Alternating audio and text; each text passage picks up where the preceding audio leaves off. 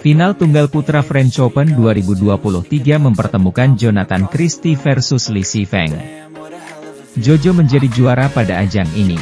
Jonathan Christie versus Li Feng berlangsung di Glass Arena, Rennes, Minggu malam. Jojo memenangkan permainan yang berlangsung sampai rubber game dengan skor 16, 21, 21, 15, 21, 14. Jonathan tak memulai game pertama dengan baik. Setelah mendapatkan poin pertama, Jojo kecolongan 5 poin beruntun dari Li Feng. Jojo sempat memperkecil skor menjadi 3-5 usai mendapatkan 2 poin beruntun. Namun, Li Feng kembali memperlebar jarak menjadi 9-3. Li Feng terus tak bisa dikejar Jonathan meski sempat diperkecil. Wakil dari Cina itu pun memimpin 11-7 di interval. Perlawanan dari Jojo mulai sengit setelah jeda. Dia malah sempat memangkas jarak menjadi Desember 14. Jonathan gagal mempertahankan permainannya. Alhasil, harus gagal di game pertama dengan skor 16-21. Jonathan tancap gas di awal game kedua dengan mendapatkan keunggulan 4-1.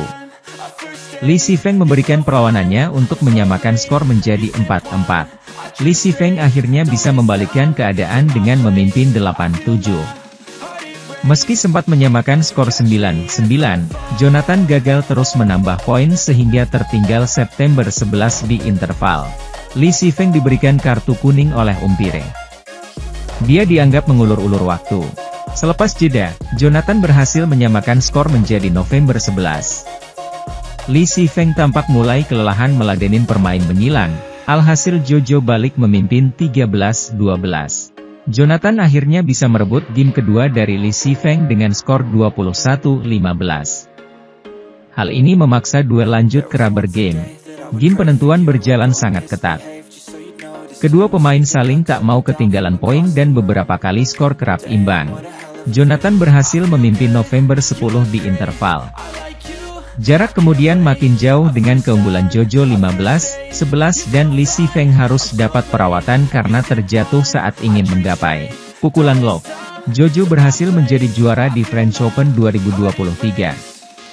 Dia merebut laga penentu dengan skor 21-14. Sementara itu, Aksi tak biasa yang dilakukan pebulu tangkis ganda putra Indonesia, Muhammad Shohibul Fikri, mendapat sorotan saat tampil pada laga final French Open 2023. Muhammad Shohibul Fikri melakukannya saat tampil bersama Bagas Maulana pada final French Open 2023 yang digelar di Glass Arena, Rennes, Prancis, Minggu, 29 Oktober 2023.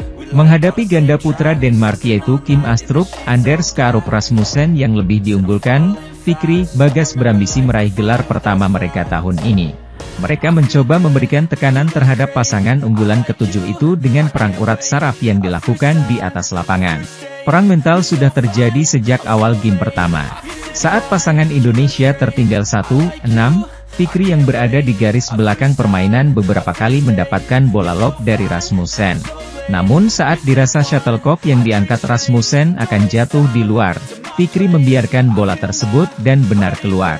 Fikri kemudian melakukan aksi susulan yang berpura-pura memukul bola tersebut sesaat setelah shuttlecock jatuh duluan di luar garis permainan. Aksi tengil dari Fikri itu yang kemudian membuat ex pemain bulu tangkis Denmark, Jim Laugesen, bereaksi saat menjadi komentator bagi televisi Denmark, TV2. Laugesen menilai tindakan itu aneh dan sangat provokatif. Pelatihnya tertawa, tapi itu aneh dan sangat provokatif. Itu adalah perilaku seorang pemain junior, kata Laugesen bersama komentator lainnya, Dennis Bostrup. Gesture usil yang dilakukan Fikri itu bukan kali ini saja terjadi di bulu tangkis.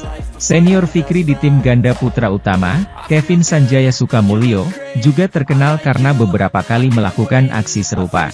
Laugisen sempat menilai bahwa gerakan pura-pura memukul Kok Fikri merupakan cara untuk menyalurkan semangat besarnya.